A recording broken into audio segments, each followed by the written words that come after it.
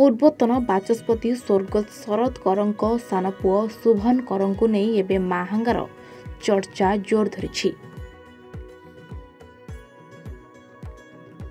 ଦୀର୍ଘ ବାର ବର୍ଷର ଆଇଆର୍ଏସ୍ ଚାକିରିରୁ ଅବସର ନେଇ ଦୀର୍ଘ ଦିନ ହେବ ମାହାଙ୍ଗା ନିର୍ବାଚନ ମଣ୍ଡଳୀର ସେ ବିଭିନ୍ନ ସାଂଗଠନିକ କାର୍ଯ୍ୟ ଓ ସଭା ସମିତି କରୁଛନ୍ତି। ଏହି କ୍ରମରେ କଟକ ଜିଲ୍ଲା ମାହାଙ୍ଗାର ଲଳିତଗିରିଠାରେ ମଧ୍ୟ ଏକ ବନ୍ଧୁ ମିଳନ ଅନୁଷ୍ଠିତ ହୋଇଯାଇଛି।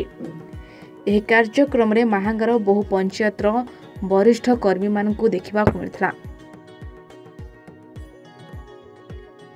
ମାହାଙ୍ଗାର ସାଧାରଣ ଲୋକ ତାଙ୍କୁ ନିର୍ବାଚନ ଲଢ଼ିବାକୁ ଚାହୁଁଛନ୍ତି ବୋଲି କହିବା ସହ ସୁଯୋଗ ମିଳିଲେ ସେ ନିଶ୍ଚୟ ପ୍ରାର୍ଥୀ ଭାବେ ଲଢ଼ିବେ ଏବଂ ଅଞ୍ଚଳବାସୀଙ୍କ ପାଇଁ କାମ କରିବେ ବୋଲି କହିଛନ୍ତି।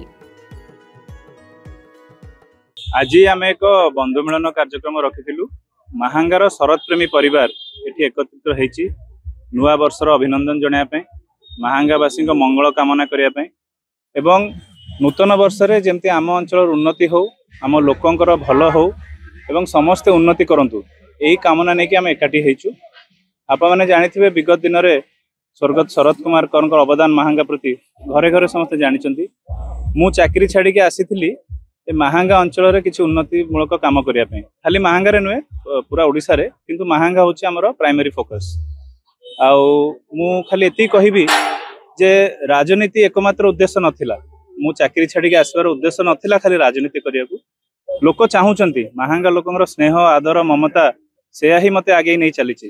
ଶରଦ ବାବୁଙ୍କୁ ଯେତେ ଭଲ ପାଉଥିଲେ ସେତିକି ସ୍ନେହ ମୋ ଉପରେ ବି ଅଜାଡ଼ି ଦେଇଛନ୍ତି। ତେଣୁକରି ମୁଁ ତାଙ୍କ ପ୍ରତି ମାନେ ଅଶେଷ ଅଶେଷ କୃତଜ୍ଞତା ଜ୍ଞାପନ କରୁଛି।